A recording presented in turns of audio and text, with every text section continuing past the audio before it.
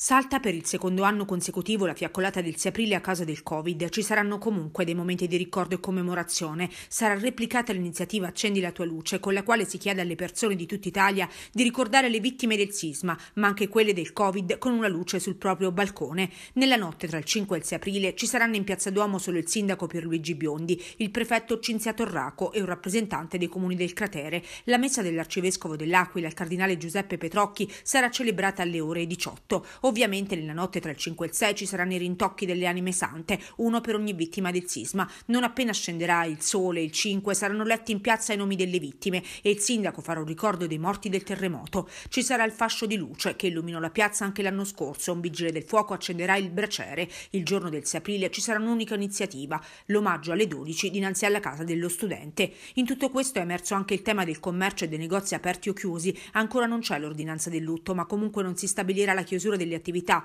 piuttosto si inviterà a sospenderle sino alle 11. Ognuno ha le sue idee in merito. C'è chi non ha ancora deciso, chi resterà aperto comunque, perché altre chiusure per alcuni non servono in un momento come questo, pur rispettando il lutto che è di tutti. Altri ritengono che per alcune attività di servizio l'apertura sia necessaria, come Michele Morelli che ha un'attività in Piazza Duomo comunque la giornata del 6 aprile non va e non deve essere dimenticata, la commemorazione caduti non deve essere assolutamente eh, eh, sottovalutata, quindi va fatto tutto, eh, quindi con, istituendo un lutto cittadino, quindi la, non, non, dovranno essere fatte manifestazioni ludiche, si lavorerà alla, a musica spenta, quindi tutti i tipi di manifestazioni devono essere assolutamente annullate, ma da qui a fermare l'economia di una città mi sembra esagerato. Facciamo l'esempio di Hiroshima che ormai sono eh, eh, decine di anni che eh, ricordano, commemorano tutti i caduti e lì si ferma una città per un minuto, addirittura anche si ferma in mezzo al traffico, si scende dall'auto, ma non viene bloccata l'economia della città assolutamente. Quindi